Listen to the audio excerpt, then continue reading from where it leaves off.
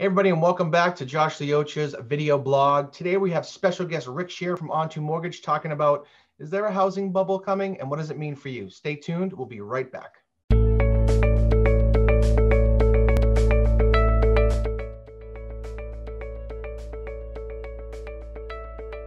All right, everybody, welcome back. As always, I like to have special guests on the show, and today we have one of our sponsors, one of a uh, Properties Group's great friends, Rick Scherer, President and CEO of Onto Mortgage, here today to shed some light on some of the misconceptions that may be out there in the marketplace. So, Rick, thank you very much for being here. Hey, man. Thanks for having me. Always a pleasure to have you. So, Rick, let's get right into it. I want to talk about um, a lot of stuff that I keep hearing about or clients are asking about is, is there a housing bubble and what's happening to rates and where are things going? So what I'd like to do is have you kind of just start off with, A, where are rates today? Where do you think they're heading?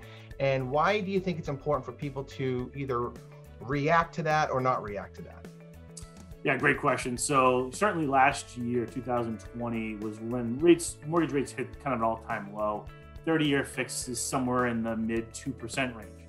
Um, now, as we've come, you know, through through the fall and in winter, you know, that rate actually had creeped up into 2021. That rate creeped up over 3%. Um, what we've actually seen is um, that mortgage rate come back under uh, 3% into the high 2% range.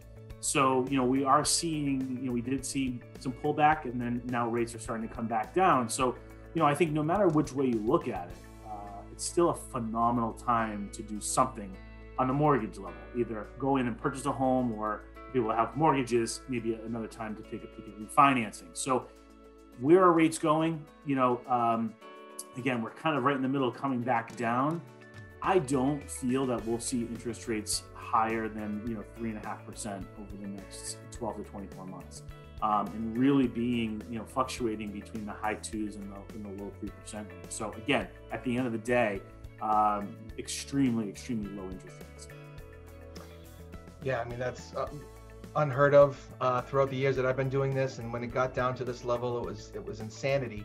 Um, but I think what's probably the most surprising to me, and I'm sure people who are going to watch this video, is that um, foreseeably there's going to be not much of a change, and they're going to be kind of floating in that uh, upper twos to mid threes for the next 12 to 24 months. You just said.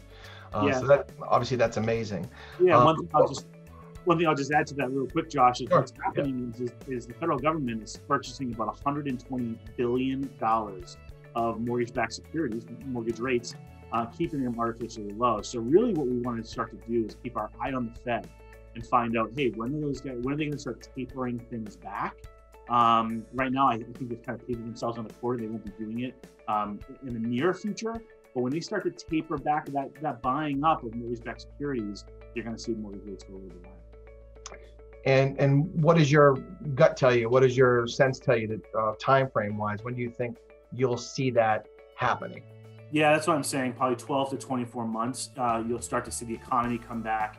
You know, we're we're we're consistently hearing things about um, government spending, right? Big big spending bills. How do they pay for that? They pay for that through the treasury and, and, and uh, bonds. So um, you know, we have to kind of see how this shakes out and it'll give us a better direction. But you know, I don't see rates skyrocketing anytime soon.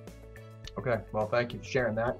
Um, in regards to what you just said, in regards to rates, in regards to keep an eye on the Fed, um, talk to me about how the, all this ties into a housing bubble. And, and in your opinion, I know I have mine, but in your opinion, someone who watches the market closely, pays it very close attention to the economic happenings of, of all of the things around us, plus specifically in the real estate market what's your opinion and what is your gut telling you in regards to where things are heading in regards to a bubble or not a bubble?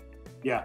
So, you know, I think a lot of people, a lot of the talking heads on, on some of the, the different shows that we all watch, financial and otherwise, are talking about this housing bubble because, as you know, uh, doom and gloom uh, sells, right? And so, and we're also coming off of, you know, a lot of us in this industry have were around in 2007, 8, 9, 10, where you did see horrific things happen to the housing the housing market, right?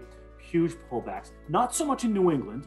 We had our fair share of issues, right? But certainly uh, not as dramatic as other places in the United States. Um, and one of the major causes of that housing bubble was the fact that uh, they were propped up by by uh, horrible loans, right? Horrible um, people getting into properties that they shouldn't have been getting into based on what they thought was going to happen in the future, that type of thing. What I'll tell you is today, uh, people getting into homes are getting into homes with great credit. Uh, they're getting into homes that they can afford, fits in their debt to income ratio.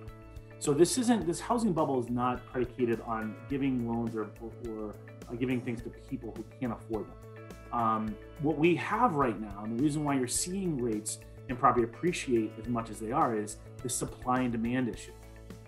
Supply and demand also brought on by COVID, right? COVID saying we only live once, so we let's go buy that house on the Cape or you know on Nantucket, or and we you know I can work from anywhere. So let's get out of the city and move to the suburbs. Or you're seeing a, a bunch of shifting happen. And what we often see in the housing in the housing upturn, where there's a lot of market appreciation, um, we see that uh, people would love to sell their home because they can get top dollar, but where are they going to go, right? And that's really what's what's what's what's um, it's causing a, um, an issue with with, with inventory. So um, I don't see a housing bubble anytime soon because we can't fix this supply and demand issue for quite a while again, up in the Northeast here in Boston, you know, we can't make any more land, right? We can't keep going up. There's an ocean there, right? Until we figure that piece out, we can't go any farther out, uh, and we can't go up. And so, you know, it's really uh, coming down to making sure we get the housing that people need. Um, so, you know, do I think there's gonna be a downturn? No. Do I think there's gonna be a slowdown? Absolutely. Um, so. Yeah, very interesting. I think the video I posted um, a couple weeks ago uh, talked about the same thing in my opinion of it. And while I don't claim to be the smartest guy, uh, living through 07, uh, you know, being, being in the business for 21 years, uh, you've seen some things, I've seen some things. Um, and you do understand that this this market is completely different from the downturn of 07, of you know that whole how it happened and what happened. And like you said, it goes basic back to supply and demand.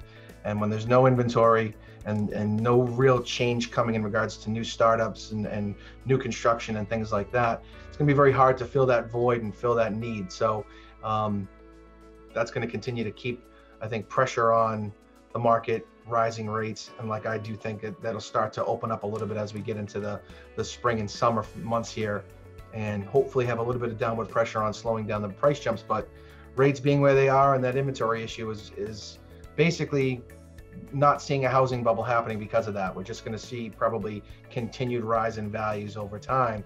So I think the bottom line, and you you tell me if I'm wrong, I think buyers who are in the market who are thinking about waiting, even though it's very difficult right now and super competitive, I think they need to kind of stay in the market and try to go out there and and find that home because I think that values aren't changing anytime soon. Yeah, no, I think if people are sitting on the sidelines because they they think rates are going to be coming in lower, or they think that the appreciation is going to slow down a little bit more. Uh, I, I, really think that they should re- rethink it, relook at it. Um, really, what I'm telling everybody I talk to is um, get pre-approved, get your ducks in a row, make sure that when that perfect house comes on the market, that you're ready to act on it. And you know, listen, if you've got to go and rent month to month until that time happens, that's fine. But I'll tell you that chances are, a year from today, mortgage rates would be higher and properties would be more expensive. Yep. Right.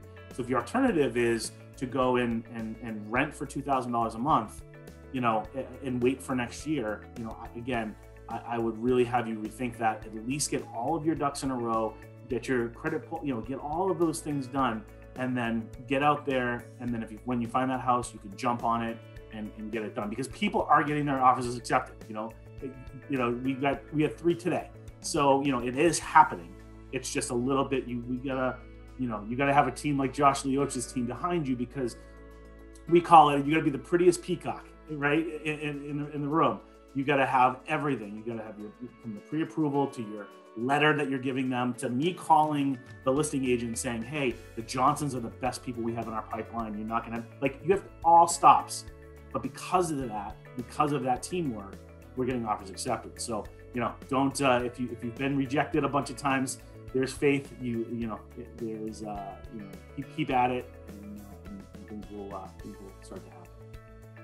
Well, Rick, as always, uh, a ton of information and a ton of good um, data for people to kind of understand, or hopefully they understand, but to swallow, digest, and think about in the marketplace. You're a wealth of knowledge for us and certainly for all the consumers out there. So thank you again. Big shout out to Rick Scherer, President and CEO of Onto Mortgage, for joining us today. And uh, we'll be back in another week with more videos. We're going to be back a couple more times because there's a lot more we can get into in regards to uh, the reasoning and where the market's heading and make sure that you understand exactly what you're doing if you're out there looking to buy your first home or move up. So thank you again for watching Josh Lioce's video blog. Have a great day and we'll see you soon.